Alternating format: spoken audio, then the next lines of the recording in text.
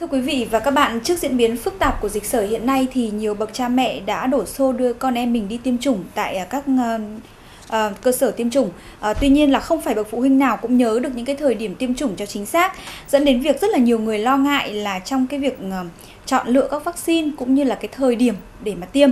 À, vì vậy mà ngày hôm nay thì chương trình tư vấn sức khỏe mỗi ngày của chúng tôi có mời đến trường quay thạc sĩ bác sĩ Nguyễn Trung Cấp là phó trưởng khoa cấp cứu bệnh viện nhiệt đới Trung ương để chúng ta có thể tìm hiểu rõ hơn về vấn đề này. Xin kính chào bác sĩ. Vâng, à, thưa bác sĩ ạ, thông thường cái việc tiêm phòng vaccine sởi cho trẻ thì được tiến hành vào cái thời điểm nào?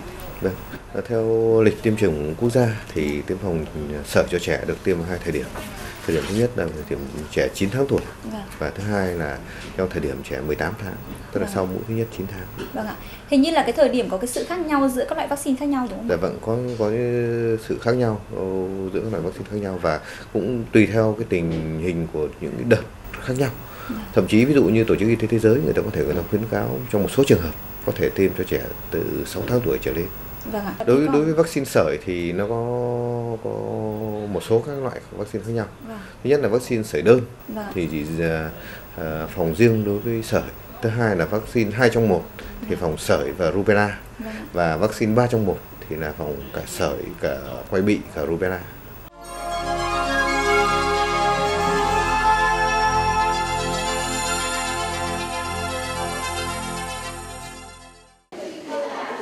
Theo nhiều kết quả nghiên cứu trên khắp thế giới, trẻ được tiêm một liều vaccine vào lúc 8 đến 9 tháng tuổi thì tỷ lệ chuyển đổi huyết thanh trung bình là 89,6%, tiêm vào lúc 11 đến 12 tháng tuổi thì tỷ lệ chuyển đổi huyết thanh là 99%. Tiêm vaccine nhắc lại cho các trẻ không có đáp ứng miễn dịch, từ lần tiêm đầu tiên sẽ tạo được đáp ứng miễn dịch ở 97% các trường hợp. Mặc dù nồng độ kháng thể có được sau tiêm vaccine suy giảm theo thời gian và có thể không phát hiện được, nhưng trí nhớ miễn dịch vẫn tồn tại và sau khi tiếp xúc với virus sởi, hầu hết những người đã được tiêm phòng sẽ đáp ứng miễn dịch bảo vệ. Theo Tổ chức Y tế Thế giới, vaccine sởi là an toàn.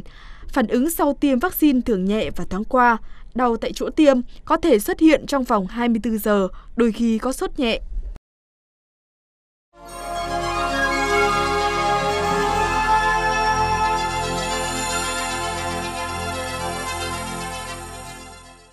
À, thưa bác sĩ, ờ, khán giả Nguyễn Thị Chi ở Hải Phòng có hỏi là con tôi đã tiêm vaccine sởi một mũi là Quinvasem rồi, nhưng đợt này Quinvasem đang thiếu nên tôi định đưa cháu đi tiêm vaccine 3 trong 1 sởi quay bị rubella. À, vậy thì à, tiêm khác loại như vậy có ảnh hưởng gì đến sức khỏe của cháu hay không và có khả năng phòng bệnh hay không? Vâng, à, à, thứ nhất là Quinvasem là một loại vaccine 5 trong 1 nhưng nó phòng các cái bệnh bạch hầu, uốn ván, ho gà và bệnh viêm gan B và Haemophilus influenza B. Vâng. nó không bao hàm sởi trong đó. Vâng. cho nên là chị cần phải đi kiểm tra à, chị cần phải kiểm tra lại trong trong sổ tiêm chủng xem là cháu đã được tiêm cái mũi vaccine sởi cùng với cái đợt với cái tiêm Quinvasem chưa? Vâng. đấy còn à, việc cháu đã tiêm vaccine sởi rồi và vaccine sởi đơn rồi bây giờ dùng loại 3 trong 1 cũng không có ảnh hưởng gì đến miễn dịch sởi nói chung là nó cũng vẫn tốt. Vâng ạ. Thưa bác sĩ vậy thì à, sau khi tiêm phòng bao lâu thì sẽ có miễn dịch ạ Vâng, thưa. Thông thường khi mà chúng ta đưa một cái uh, cái kháng nguyên vào vào cơ thể thì trong sau khoảng 1 đến 2 tuần thì bắt đầu hình thành nên uh, các kháng thể và các kháng thể nó sẽ sau 3 tuần thì nhìn chung là cái nồng độ kháng thể nó đã lên đến cái ngưỡng có thể bảo vệ được cơ thể. Tuy nhiên là đối với sởi thì uh, do cái mũi tiêm thứ nhất nó chỉ đảm bảo được miễn dịch cho 85% số người được tiêm vâng. vẫn còn lại 15% số người sau khi tiêm một mũi không đảm bảo được miễn dịch thì người, người ta khuyến cáo là tiêm hai mũi tiêm mũi thứ hai vâng. để chúng ta bao phủ thêm được và sau khi uh, tiêm hai mũi thì cái tỷ lệ người được bảo vệ bằng vaccine nó lên đến trên 95%. Vâng ạ. À, một khán giả có địa chỉ email là nga hoàng a gmail.com có hỏi là các loại vaccine sởi như là ba trong một và vaccine sởi đơn thì loại nào tốt hơn? Hiện nay các xã phường đang tiêm vaccine miễn phí sởi đơn. Vậy thì theo bác sĩ thì chất lượng của cái loại vaccine này như thế nào và thời gian tiêm của các loại vaccine như thế nào cho hợp lý? À, tất cả các loại vaccine mà chúng ta sử dụng uh, tiêm hiện nay thì là đều được Bộ Y tế thẩm định và uh, khẳng định là nó có hiệu quả tốt. Vâng. Thế cho nên là chúng ta không không thể nói là loại nào tốt hơn loại nào được. Vâng thì cái với vaccine sởi đơn thì nó chỉ có tác dụng động tác dụng là giúp cho bảo vệ sởi vâng. còn với các vaccine phối hợp kia thì nó còn có thể nó có thêm tác dụng bảo vệ đối với những bệnh khác nữa. Vâng ạ.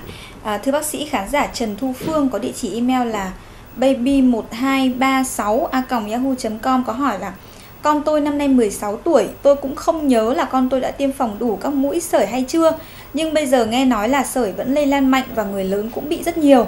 Tôi định cho cháu đi tiêm phòng nhưng sợ cháu đã tiêm đủ hai mũi rồi. Vậy thì nếu tiêm thêm nữa có bị làm sao không? Và ở độ tuổi của cháu thì có phù hợp không? Tôi rất lo lắng. Vâng. À, thứ nhất là cũng có rất là nhiều bệnh nhân là người ta không nhớ được rằng người ta đã được tiêm hay chưa. Vâng. Thế thì khi trước khi quyết định đi tiêm phòng tiếp thì có thể đến các bệnh viện hoặc là à, đến một số các cơ sở xét nghiệm để mình xét nghiệm xem đã có kháng thể chưa. Nếu như một người mà đã có kháng thể rồi thì không cần phải tiêm phòng lại. Vâng. Còn nếu họ chưa có kháng thể thì mình ừ, có thể chỉ định tiêm phòng lại đối với những người như thế. Vâng. Và thế còn nếu như mà một ờ, người mà đã tiêm phòng rồi mà ngẫu nhiên tiêm phòng tiếp một mũi khác thì nó cũng không gây nguy hại gì đáng kể. Yeah. Nó cũng giống như chuyện là người đó ra tiếp xúc với bệnh nhân sởi và hít phải một liều virus sởi thì cơ thể sẽ tự sinh à, tự tồn tại tự có các cái kháng thể chống lại cái cái, cái mầm bệnh xâm nhập vào nó sẽ không gây, hại gì đáng kể. Vâng thưa bác sĩ, vậy thì vaccine 3 trong 1 thì chúng ta cần phải có cái thời gian tiêm như nào cho nó hợp lý? Vâng, uh, vaccine 3 trong 1 thì nó có ba cái loại vaccine trong đó. Thứ nhất là vaccine đối với sởi, ừ. thứ hai là đối với rubella và thứ ba là đối với quai bị. Thế thì cái lịch tiêm đối với vaccine 3 trong 1 nó lại hơi khác một chút. Thường là người ta tiêm nó vào khoảng chừng tháng thứ 12 và vào khoảng chừng 4 đến 5 tuổi là tiêm mũi thứ hai. Thế còn đối đối với vaccine sởi thì người ta khuyến cáo là khuyên tiêm vào khoảng từ từ 9 tháng cho đến một tuổi và đến cái thời điểm là, là, là 18 tháng tiêm nhắc lại. À, việc tiêm các cái vaccine sởi này thì có làm cho trẻ à, bị à, biếng ăn mệt mỏi à, sau khi tiêm hay không ạ? Vâng, bất cứ một cái loại vaccine nào ừ. thì nó cũng đều có một cái tỷ lệ à, các cái uh, gọi là cái biến chứng nhất định. Ừ. Thì nó mức độ nhẹ thì có thể là trẻ nó đau, nó khóc có thể trẻ nó do cái phản ứng cơ thể trẻ nó sốt lên một chút thế và uh, khi nó đau nó sốt như thế nó có thể nó biếng ăn nó quấy khóc nó khó ngủ và hoặc là một số các cái biến chứng khác thế còn cái tỷ lệ biến chứng nặng thì gần là rất thấp đối với các loại vaccine hiện nay vâng ạ xin cảm ơn bác sĩ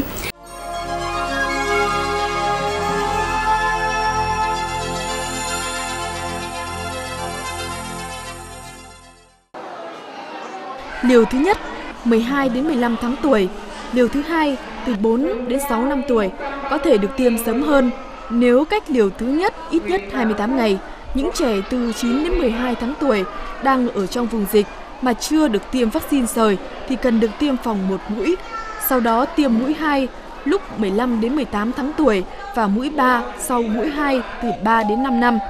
Người lớn cũng nên được tiêm vaccine sởi bất cứ ai trên 18 tháng tuổi nên tiêm phòng ít nhất một liều vaccine sởi nếu chưa được tiêm phòng hoặc tiêm phòng chưa đầy đủ, trừ khi họ có thể chứng minh rằng họ đã từng được tiêm đầy đủ hoặc đã mắc bệnh rồi.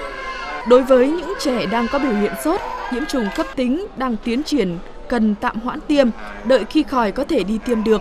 Đặc biệt là phụ nữ đang mang thai thì không được tiêm loại vaccine này.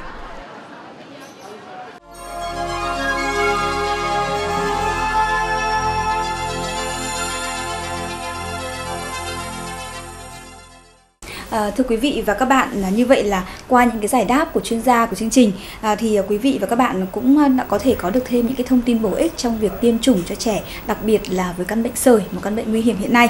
À, và à, bây giờ thì chương trình tư vấn sức khỏe mỗi ngày của chúng tôi xin được khép lại tại đây. Cảm ơn quý vị và các bạn đã quan tâm theo dõi.